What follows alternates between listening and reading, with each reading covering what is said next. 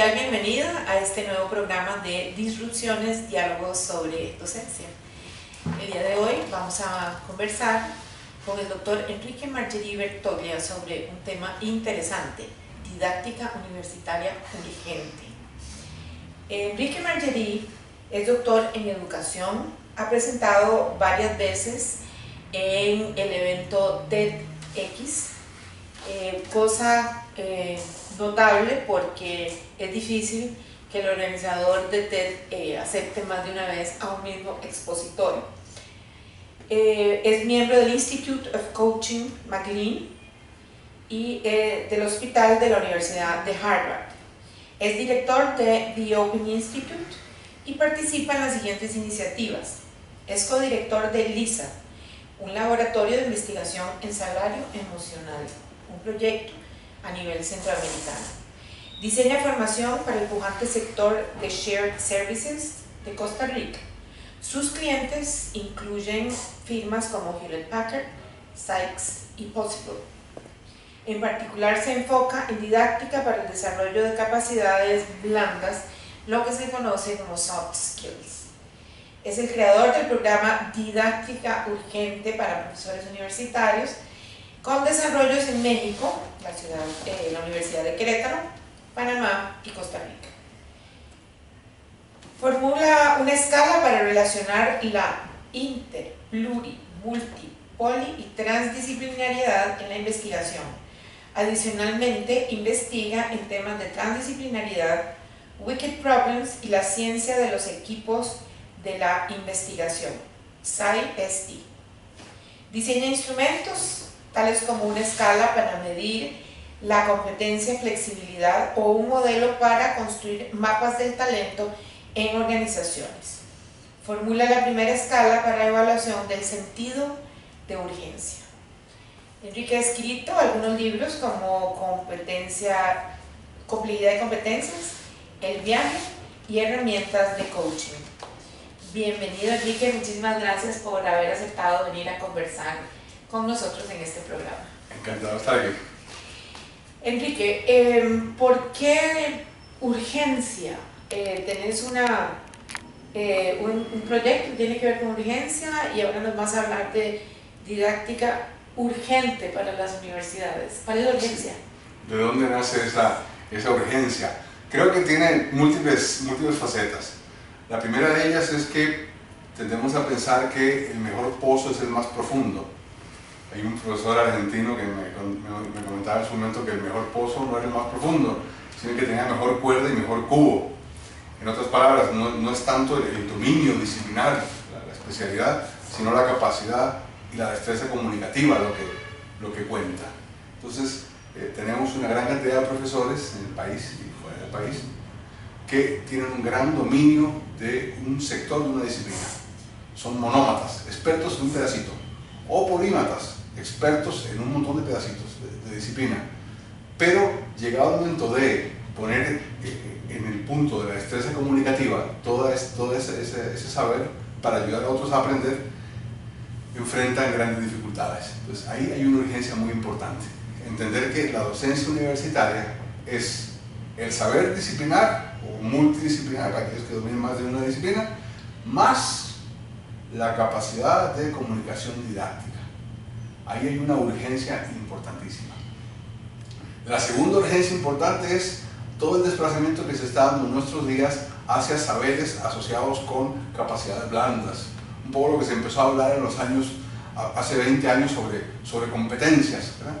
Y que desde, desde, las, desde las universidades se ha, se ha pensado que esas, esas capacidades blandas, esas competencias, se desarrollan con el mismo modelo de clase magistral que tradicionalmente utilizamos para transmitir saberes eh, de procedimiento o, o saberes de, de memoria, ¿no? procedurales. Y ahí es urgente hacer un poco ese, ese cambio. Lo acabo de ver a, a, ayer, a, ayer en en una, experiencia muy interesante, asistí a una clase, donde, una clase de administración, donde el profesor habló dos horas sobre trabajo en equipo. No se hizo absolutamente nada sobre trabajo en equipo. Entonces la observación final era esa. Habiendo una enorme cantidad de ejercicios para movilizar al estudiantado, para, para, para un poco poner la capacidad en acción, reflexionar sobre esa capacidad y hacer un poco más de, hasta incluso portafolios de aprendizaje y proyectarse en esa línea, eh, la clase se habría traducido en dos horas de hablar sobre trabajo en equipo. Bueno, entonces eh, veo la urgencia todavía mayor, porque no solamente es lo que, lo que vos estás diciendo, que quienes dominan una disciplina deberían también saber sobre didáctica, sino que además, eh, no solo para acompañar un, un, aprendizaje, sino porque además si no lo hacemos nos estamos contradiciendo. Porque a mí me parece que eso que viste ayer fue una contradicción absoluta. O sea, una cosa es lo que le digo al estudiante con mi discurso magistral y otra cosa muy distinta es la forma en que lo modelo.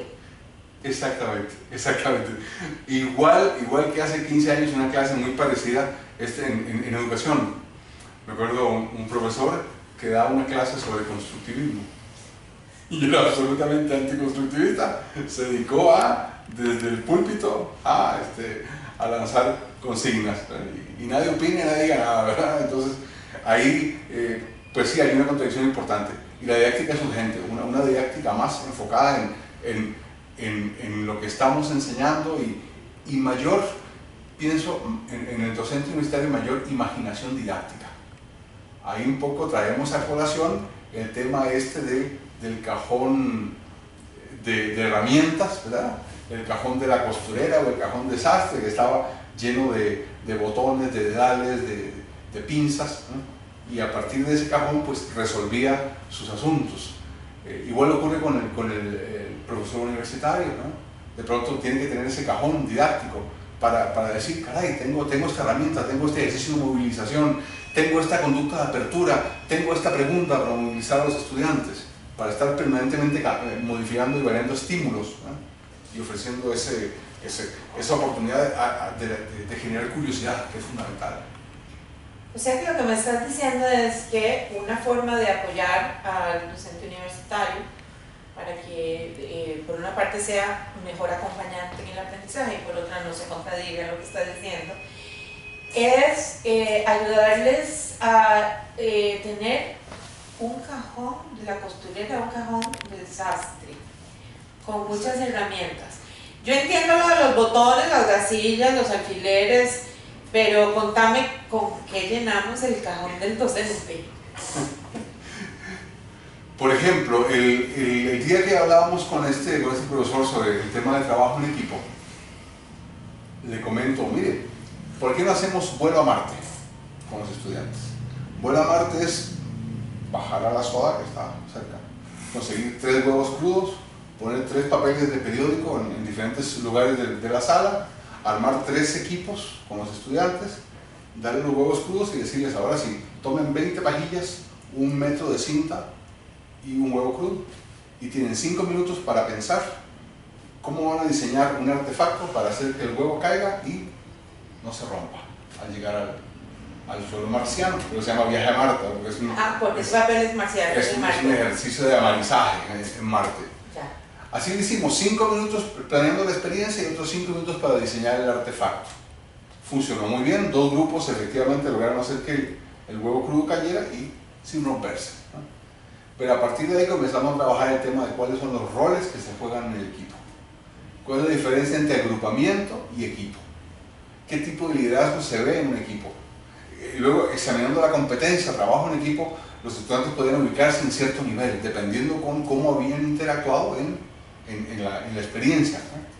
Y a partir de ahí la clase se hacía mucho más rica porque era mucho más reflexiva y el estudiante encontraba mucho más sentido en lo que estaba haciendo.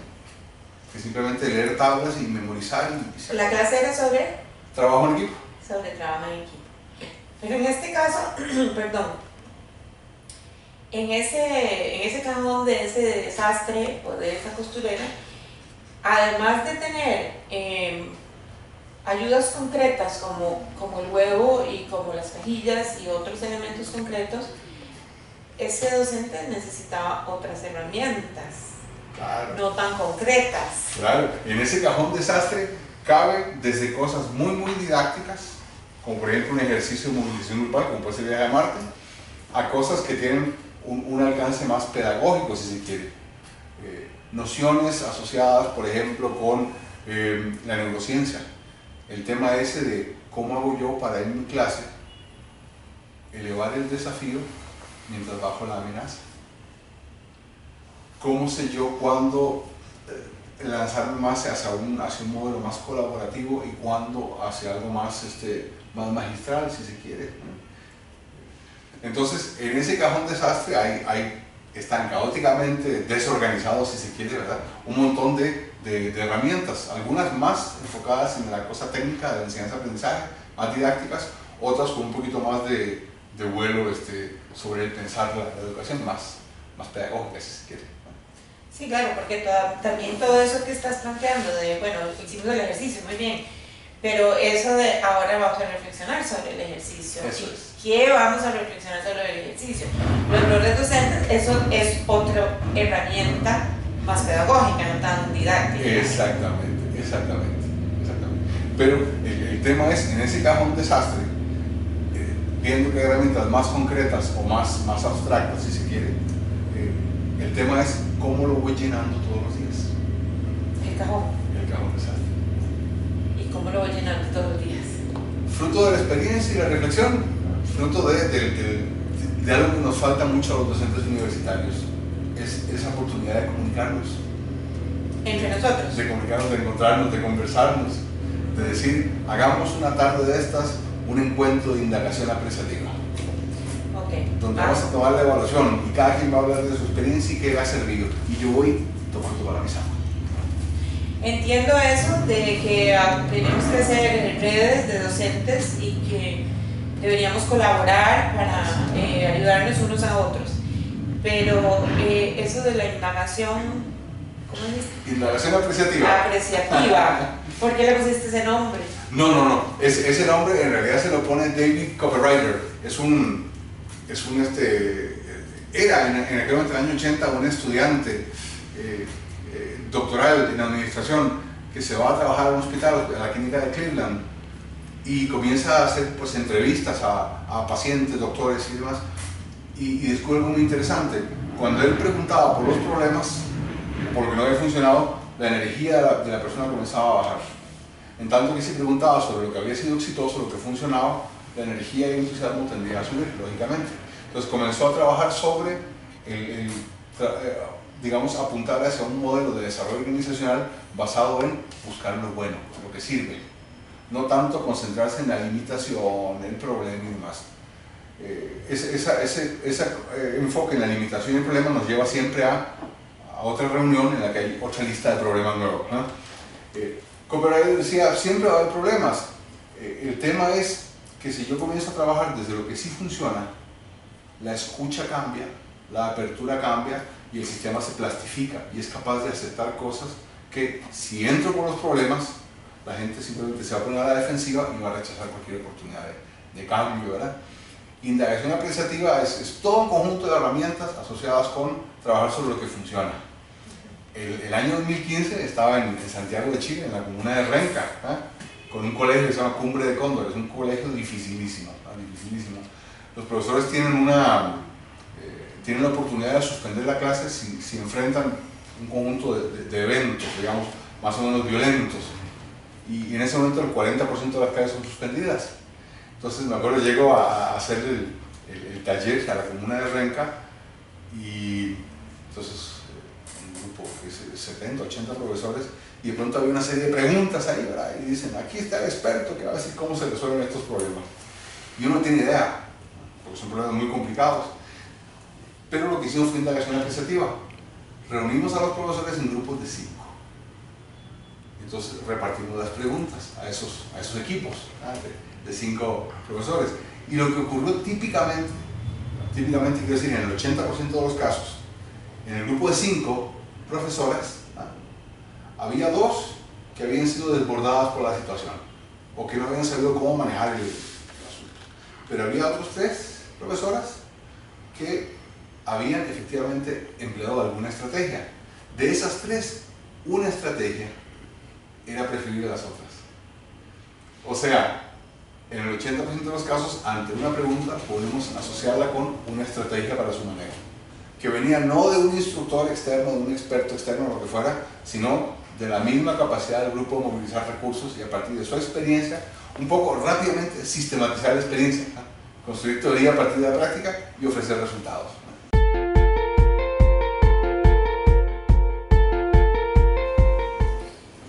Bueno, entonces eh, eh, no, no, necesariamente tenemos que esperar que venga un experto a, a, formarnos en, en didáctica vigente.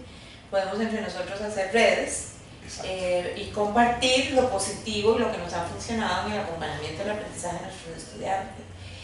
Creo, este, Enrique, que este es el, el objetivo de este programa de, de, de diálogos sobre docencia, porque lo que estamos haciendo es conversando con personas que sobre sus este, actividades o sobre sus propuestas y sus iniciativas positivas y luego a través de la red la compartimos con todas las personas y docentes que nos quieran escuchar eh, para eh, ayudarnos unos a otros en esta urgencia que tenemos.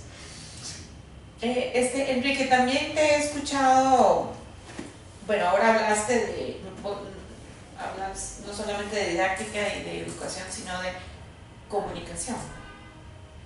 Y eso Mm, con todas las personas que he conversado no necesariamente dan un, énfasis en la comunicación, sino más bien en, acompañar el aprendizaje. Eh, yo sé que eso está totalmente relacionado, pero ¿por qué le das énfasis a la comunicación? Básicamente porque la, destreza comunicativa es la que va a vertebrar todo el ejercicio didáctico.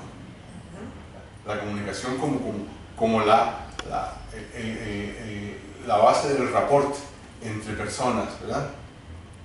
Es, fundamental en, el docente eh, ese ejercicio de, la, de, la, destreza comunicativa, de saber comunicar para poder, entre otro montón de cosas, entre otro montón de cosas, ayudar a, a generar un, un, entorno de aprendizaje donde la curiosidad este, le dé, eh, sea la que convoque a los, a los estudiantes. Me refiero a la comunicación en el sentido más amplio, ¿verdad? En, en el de ofrecer conductas de apertura este, que sean que llamen a la curiosidad, poder explicar un tema, eh, poder como docentes eh, trabajar, eh, hablando de herramientas novedosas, por ejemplo, poder trabajar la triada aristotélica. Y muy novedosas. Sí. Muy novedosas, tienes 23 siglos apenas. trabajar el tema de, de, de, cómo hago yo para comunicar desde mi experiencia, entonces legitimar lo que estoy planteando. Pero además, cómo hago yo para mediar y comunicar con un cierto sentido de orden, y ofreciendo soluciones al estudiantado. Pero además, ¿cómo hago yo para comunicar eh, trayendo historias a colación y trabajando el, el, el nivel emocional, la, la emocionalidad que trae a los estudiantes a la curiosidad? Para lograr todo eso es muy importante el tema de lo, comunicativo. Has mencionado dos veces ya eh, las conductas de apertura. ¿Qué es eso? Es, es algo que vamos a ver ahorita en, la conferencia. Básicamente lo que, lo que, lo que les planteo a, los docentes universitarios es que, así como decía Paul Václavic, que es imposible no comunicarse, que no importa lo que uno haga, siempre está comunicando, hasta cuando me quedo callado me estoy comunicando, así también es imposible no tener una conducta de apertura, que es lo primero que yo hago al iniciar la clase. Entonces, tal vez la conducta de apertura que, más, que, más y mejor conocemos y no es muy recomendable es esa idea de entrar a la clase, tomar el maletín, tirarlo en la mesa y decir, bueno, ¿qué estábamos a ver? y sigo la clase el jueves por la noche así como la dejé el lunes por la noche. Entonces la conducta de apertura es, es un poco esa conducta que va a generar un clima de curiosidad, que va a hacer un, a hacer un lanzamiento de la clase ¿En qué consiste? ¿Qué puede ser esa conducta de apertura? Pues puede ser una pregunta. Un ejemplo, eh, una, una clase eh, eh, en el ámbito del administrativo, un, una clase sobre toma de decisiones, donde un poco los estudiantes venían predispuestos a que era un tema un poco árido, un tema que no siempre es muy realista en su manejo académico, ¿verdad? En la academia, cuando se da un curso de toma de decisiones, todos son tablas y multiplicar probabilidades de ocurrencia de esto por disabilidad de, de ocurrencia de lo otro y, los estudiantes saben que en el mundo real eso no funciona. Pero entonces la clase viene un poco predispuesta. Una nota de apertura fue arrancar esa clase con una pregunta. Y la pregunta fue, una pregunta para, para todos los, los, estudiantes, los estudiantes, para todos, la pregunta fue, ¿cuál ha sido la decisión más difícil que usted ha tenido que tomar en su vida? Pues piense sobre eso un par minutos. Ya eso cambió automáticamente el pH de la clase. Ya era una clase que tenía que ver con, con mi vivencia, una, una de mis vivencias más fuertes, por así decirlo. Entonces una conducta de apertura puede ser una pregunta, puede ser un video, una imagen, una experiencia, eh, una anécdota, un ejercicio que se cuenta a los estudiantes. Eh, ojalá no sea un chiste, los chistes son muy peligrosos.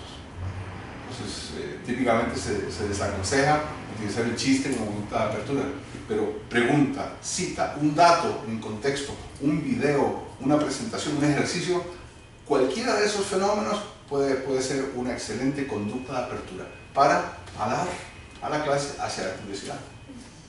Y esas conductas de apertura eh, debo tener varias en mi cajón de costurera. Esa es la idea, en el cajón de costurera hay, hay historias, hay conductas de apertura, hay trozos de textos de Vygotsky, hay este, eh, ejercicios que puedo poner a la clase a, a, realizar, hay preguntas, hay citas, está todo eso Y la triada aristotélica en el en ahí, está, ahí está. Contanos qué es la triada aristotélica. el logos Efos y Patos, Para, para, Aristóteles. Aristóteles decía en su momento que uno debía trabajar en su, en su comunicación el tema de la legitimidad, hablar desde la experiencia, conocer el tema, poder plantear eh, ejemplos concretos. Ese era el tema de la legitimidad. Eso es un poco la profundidad del pozo. Exactamente. Exactamente. exactamente. Lo segundo, el tema ya de la mediación cómo organizo yo temáticamente la clase, cómo planteo preguntas que sean, que inciten a la reflexión, cómo, cómo doy un cierto orden a ese, a ese proceso. Y el tercero, el tema de lo emocional, cómo traigo ejemplos de la vida real, cuento historias y trato de unir el tema con los intereses y preocupaciones de los estudiantes. Entonces ahí está lo emocional, lo, lo lógico racional y la legitimidad eh, como, como una tríada que está al servicio de la comunicación didáctica. Y en mi herramienta de costurero. También. Todas esas son herramientas. Yo siempre he pensado que, y me gusta mucho el, tema de la, reflexión pedagógica, es súper interesante, y ahora se habla mucho del tema de, la didáctica desde lo antropológico, entonces este, ya uno está hablando de, elementos pedagógicos este, bien bien este, sofisticado, si se quiere, pero en mi caso particular la pasión va por el lado de todo eso está muy bien, pero ahora sí, ¿cómo lo hago? Entonces, ¿cómo, didácticamente yo voy a articular todo eso?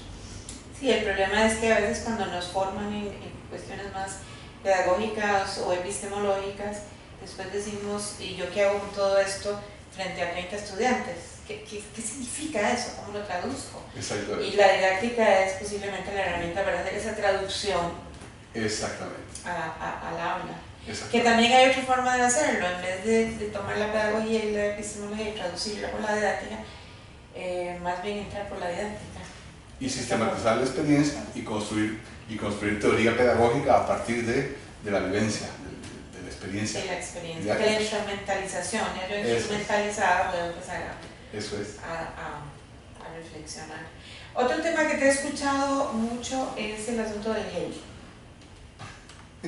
Que yo pienso que, este, contanos, qué es ese el.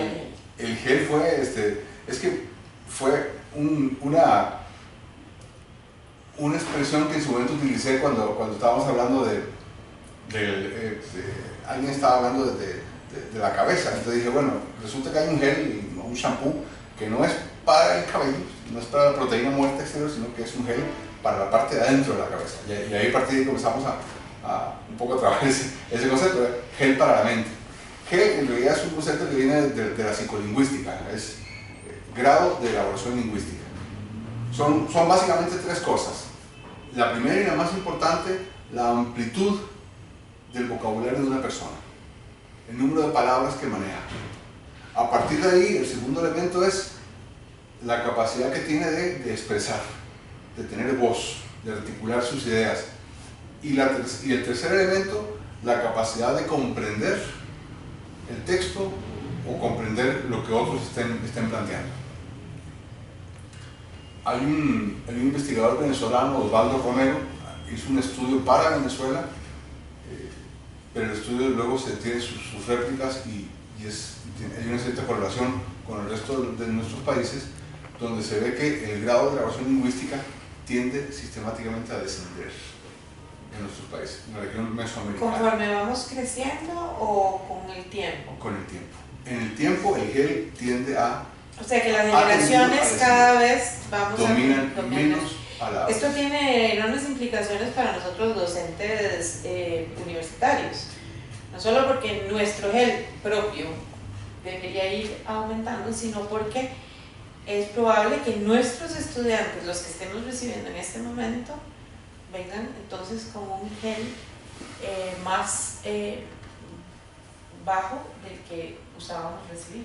De esto, de esto este,